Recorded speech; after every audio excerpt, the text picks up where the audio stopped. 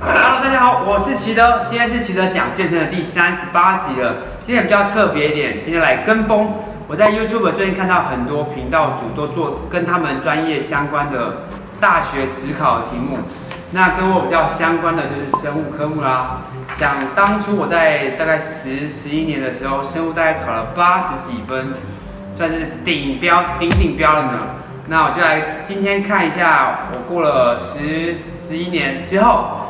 在这里面可以拿到几分吧，然后以及把它里面有跟健身领域的题目抓出来看看，看有没有哪些内容可以介绍给大家的。它的选择题是七十六分，所以我只做选择题的部分。那么我们就大概它考试时间八十分钟，我们就计时一小时好了。计时一小时，我就计时一小时，开始喽。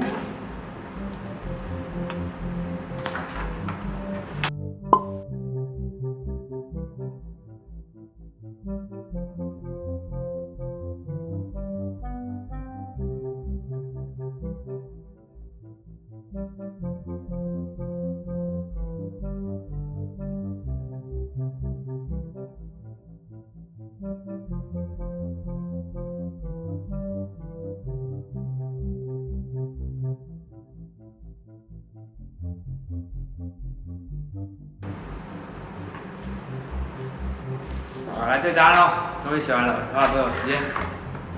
哎，没看到，花了四十分，花了四十分钟。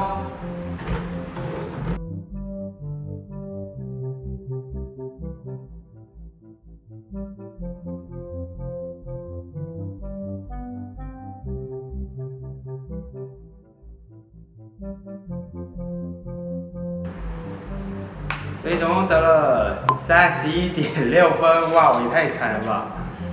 但是里面如果有涉及到运动的话，是还答对了呀。里面有几题跟运动蛮有相关的，比如说以糖尿病来讲，就是第五题，若人类的贝塔细胞就胰岛贝塔细胞被破坏，那贝塔细胞它主要是分泌胰岛素的，所以它有可能会导致你的糖尿病，也就是血液尿液中的葡萄糖浓度增高。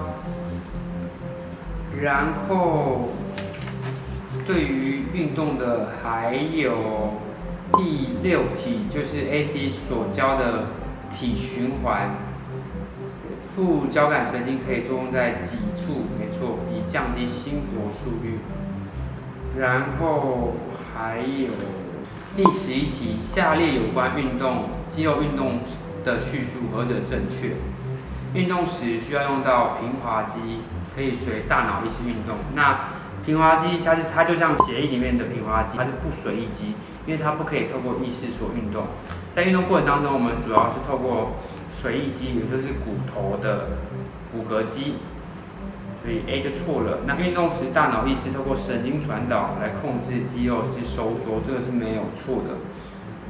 然后适度运动代表可能中低强度，肌肉型有氧呼吸，这个可以。先经过克氏循环，应该是先经过糖解作用去分解葡萄糖，然后再经过有氧糖解去做克氏循环。第四个，过度训练的时候，应该在指的是高强度，细胞会行酒精发酵。我记得只有酵母菌才可以行酒精发酵，葡萄糖代谢成乳酸，这个叫做无氧糖解。嗯，然后我记得在第十六题。十七题这个题组，我在 AC 上课的时候也会提到，动脉和静脉它们不太一样。那静脉甲到乙这边往回流的时候，代表乙那个地方一定有一个静脉窦阻止血液回流，这是静脉窦，也就是静脉的瓣膜。所以在十六题答案应该会是猪。第十七题的话，甲到乙那个滑，所以血液一定是从甲到乙那边流动啊，没有错。然后第二十题，下列有关细胞呼吸的叙述何者正确？在有氧的情况下，葡萄糖直接进入立腺体，葡萄糖要变成丙酮酸，变成乙烯辅酶 A 进入立腺体进行氧化反应，所以 A 是错的。B 在缺氧的情况下，细胞呼吸反应先在细胞质中进行，之后才在立腺体中进行。那无氧它不会进到立腺体，因为立腺体一定要走有氧。C 选项这个。可以没有问题。无论有氧或缺氧，在细胞质进行的反应所得能量都比立线体还要更少一点。无氧出来的能量不多，所以我们不能持续太久的高强度运动。所以二十题答案是 C。嗯，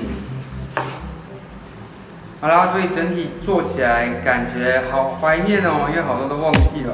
在这七十六分里面拿到三十一点六分，如果把它扩大成一百分的话。